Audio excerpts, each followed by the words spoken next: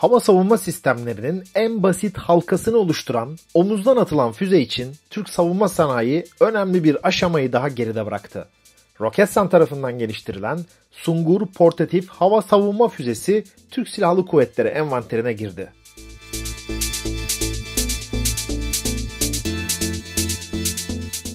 Rakibi Stinger'e göre menzili yaklaşık 2 kat daha uzun olan Sungur 8 kilometreden hedefini vurabiliyor.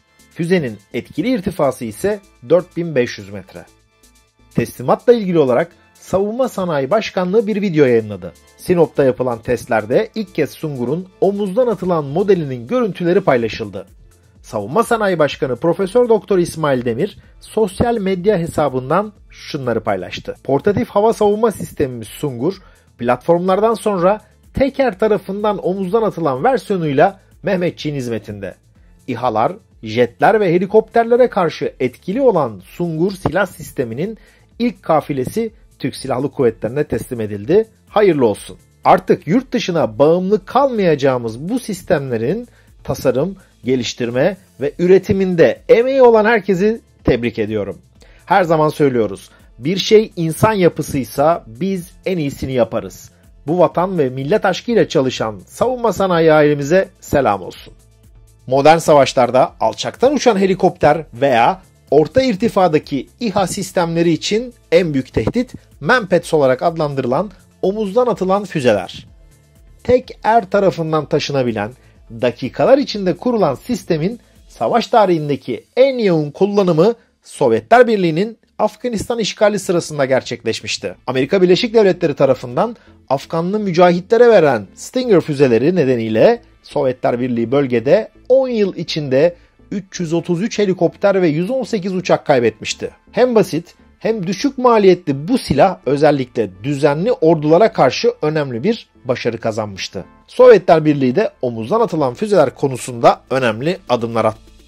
SA-7 ile başlayan ailenin bugün en modern üyelerinden biri de SA-25. Halen devam eden Ukrayna Savaşı'nda Manpads yani omuzdan atılan füzeler yoğun olarak kullanılıyor. Özellikle Rus güçleri gelişmiş Stinger başta olmak üzere bu füzeler nedeniyle ciddi kayıp veriyor. Stinger, Afganistan tecrübesinin ardından 1980'lerde NATO'nun da standart omuzdan atılan hava savunma sistemi haline geldi.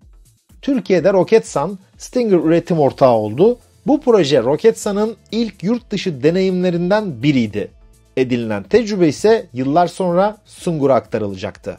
Roketsan uzun yıllardır üzerinde çalıştığı Sungur'un ilk yayınlanan atış test görüntüleri araç üzerinden gerçekleşmiş ve bu konu izleyicilerimizin de dikkatini çekmişti. Bu tür füzelerin ilk denemelerinde araç veya platform üzerinden atış tercih ediliyor.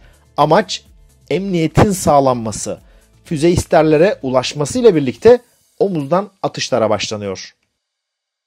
Sungur'un hareketli atış yeteneği, gece gündüz hedef tespit, teşhis, tanımlama, takip ve 360 derece atış kabiliyeti öne çıkıyor. Görüntüleyici kızıl ötesi olarak adlandırılan IIR arayıcı başlık kullanma kapasitesine de sahip olan Sungur, üstün özellikleri dolayısıyla dördüncü nesil Manpads olarak nitelendirilmekte. Kullanılan görüntüleyici kızıl ötesi arayıcı başlık hedefin başarıyla takip edilmesini ve füzenin vurmasını sağlıyor.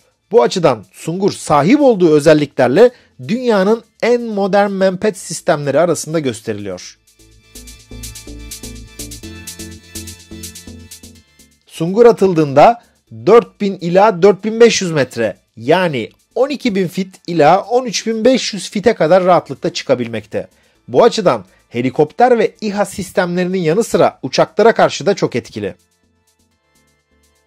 Sungur'un öne çıkan özellikleri arasında en önemlisi sınıfının en uzun menzilli füzesi olması geliyor. Kızılötesi, görüntüleyici, arayıcı başlık ile atış öncesi kilitlenme gerçekleştiriliyor.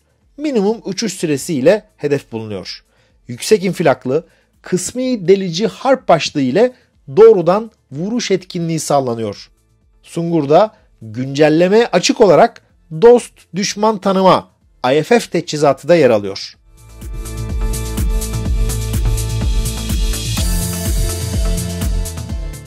Gelin birlikte savunmasanayist.com sitesi tarafından hazırlanmış Sungur'un rakipleri Stinger, Verba ve Mistral ile karşılaştırma rakamlarını birlikte okuyalım. Sungur'un menzili 8 kilometre. Bu açıdan Stinger'in 4.8, Verba'nın 6 ve Mistral'in 7.5 kilometre füze menzillerinin ötesine doğru geçiyor. İrtifa açısından baktığımız zaman Sungur 4 kilometre ila 4500 metreye kadar çıkabilen özelliğe sahip. Bu açıdan Stinger, Verba ve Mistral'i geride bırakıyor. Ağırlığı ise yaklaşık 15 kilogram. Bu açıdan rakiplerine göre de daha hafif bir yapıya sahip. Sungur'da kullanılan harp başlığı ise yüksek infilaklı kısmi delici. Arayıcı başlık sistemi ise görüntüleyici ayar başlığı. Üretici Roketsan. Stinger'ı Raytheon tasarladı. Verba Rus yapısı, Mistral de Avrupa MBDA Missile Systems tarafından geliştirildi. Roketsan bugüne kadar yaptığı gibi geliştirdiği mühimmatları birer atlama tahtası haline getiriyor. Farklı görevlere uyarlıyor. Etkinliği ve kullanım alanını geliştiriyor. Yakın gelecekte Roketsan'ın Sungur füzesi üzerinden bir havadan havaya füze sistemi geliştirmesi konusundaki çalışmalar yapacağı tahmin ediliyor. Ayrıca yine Sungur füzesi üzerinden deniz platformlarında kullanılacak bir yakın hava savunma füze sistemi Levent projesi kapsamında da sistem geliştirilmekte.